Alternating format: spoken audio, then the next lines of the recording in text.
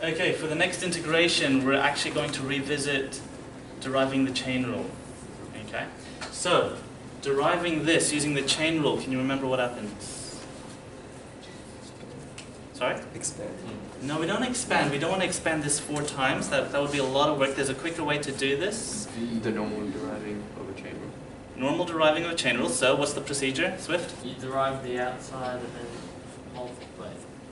Multiplied by the derivative Of the inside. That's right. So we're deriving the outside, so we're going to bring that 4 down. And what happens to the power? It goes down. goes to 3, right? We drop the power.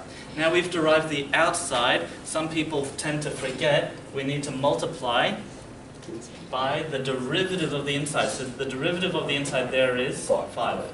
The power Okay. What happens to the 5? They cancel, right? So we're left with 4 times 5x minus 2 to the power of 3. Okay, everyone happy with that? Alright. If there was a constant here, it would, it would cancel. It would, we would lose that constant because the derivative of a constant becomes 0. Okay?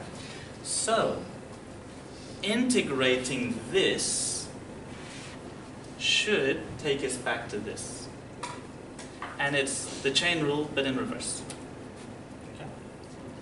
So if we're going to integrate 4 times 5x minus 2 to the power of 3 dx, first thing is we're going to raise the power, divide by the power.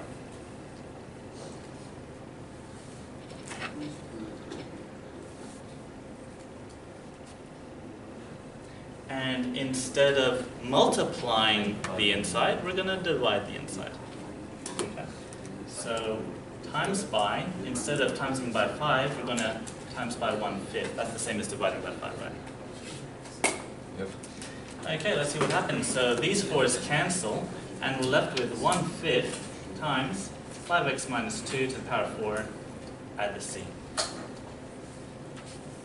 Is that the answer, sir? Is that the answer? Correct. Yes, it is. Just go back. It's, Oh, it's literally back. Oh, this is.